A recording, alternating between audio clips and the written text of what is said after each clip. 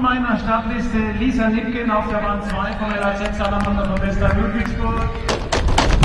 Nageldominantorin in diesem Lauf 17,79. Das war nochmals